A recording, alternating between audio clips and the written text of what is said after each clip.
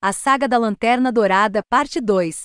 Quem é um Lanterna Dourado? E o que sua fonte de poder tem a ver com a grande escuridão? O Lanterna Dourado é tudo o que promete ser. A Liga da Justiça e a Legião dos Super-Heróis se unem e viajam para os períodos de tempo um do outro para desvendar os mistérios que os levaram ao precipício desta grande escuridão. Para mim, a melhor parte desta edição é quando Bendis tira um tempo para explorar The Gold Lantern. Parece óbvio neste momento que este é o arco da história que seria lançado em Legion of Super Heroes Hashtag 13, se a série não tivesse sido cancelada. Estas primeiras páginas são bastante fortes quando conhecemos Kala Lor, e temos uma noção dele quando lhe é oferecido o Anel da Lanterna Dourada pela versão do século 31 dos Guardiões do Universo. Podemos ver no que ele acredita e como isso pode ou não diferir do modus operandi tradicional da tropa dos Lanternas Verdes.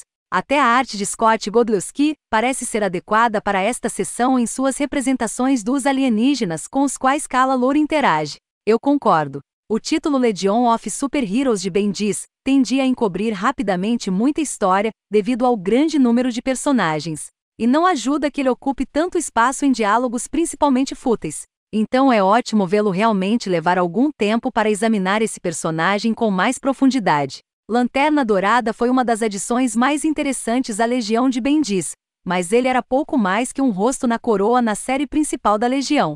A ideia de que as duas manchas escuras testemunhadas nos séculos 31 e 21 são um caminho entre períodos de tempo é interessante. Vai depender de onde isso vai para determinar a qualidade da execução. Pode ser uma ideia interessante que é desenvolvida, ou pode não ir mais longe, e ser outra coisa que Bendis deixa na mesa. Talvez a grande escuridão de alguma forma transcenda o tempo. Ou existe alguma outra razão pela qual essa história envolve o século 31, quando todos os outros tópicos que levam ao evento de crossover Dark Crisis parecem focados em eventos no DC atual? O que quer que esteja acontecendo aqui, parece que Lanterna Dourada está no centro disso. Concordo que as manchas de escuridão conectando os dois períodos de tempo são intrigantes, mas traz à tona um problema que tenho com essa história. Na recapitulação de abertura, Lanterna Dourada nos diz: primeiro, Brainiac descobriu uma perigosa preocupação cósmica que ele chama de Grande Anomalia das Trevas.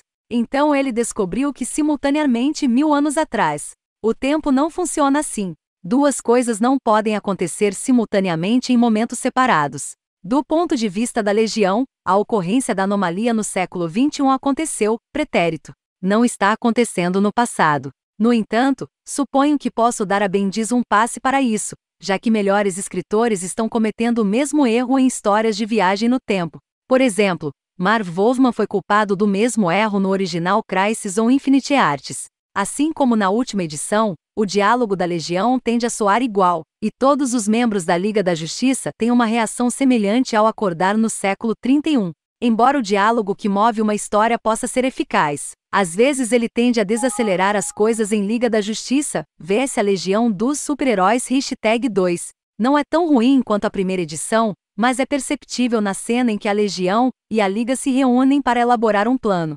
Sim, o diálogo de Bendis não é nem de longe tão espirituoso quanto Bendis parece acreditar. Então, é bom ver que Bendis está colocando menos ênfase nisso e dando mais atenção à história em si. Eu não sei do que se trata toda a história da Rainha Naomi, mas parece bastante relevante para a história em questão. Provavelmente é melhor que ele siga esse segmento específico da história em sua série Naomi, em vez de aqui. Toda a ideia desta grande escuridão parece bastante artificial. Todos nós sabemos que The Great Darkness é Darkade, então fingir que qualquer outra coisa parece errada.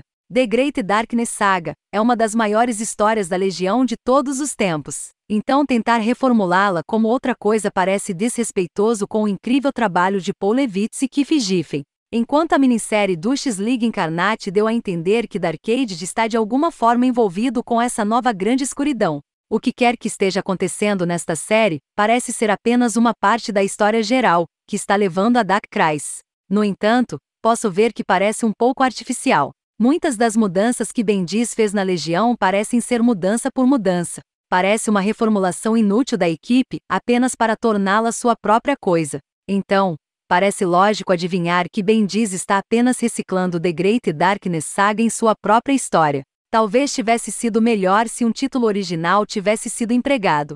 No geral, Liga da Justiça vs Legião dos Super-Heróis, hashtag 2 é um pouco melhor que a edição hashtag 1.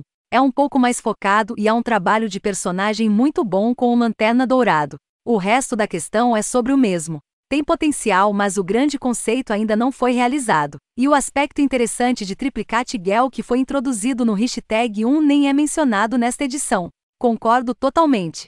Este problema é uma pequena melhoria, mas principalmente apenas mais do mesmo. Também achei decepcionante que Ben Diz não tenha seguido a subtrama Triplicate Gel. Definitivamente, há os ingredientes de uma boa história aqui, mas continuo em dúvida de que Ben Diz esteja à altura do trabalho. Mas se ele puder se concentrar na história, e não nos inundar com uma superabundância de diálogos inúteis, então essa pode ser uma boa história.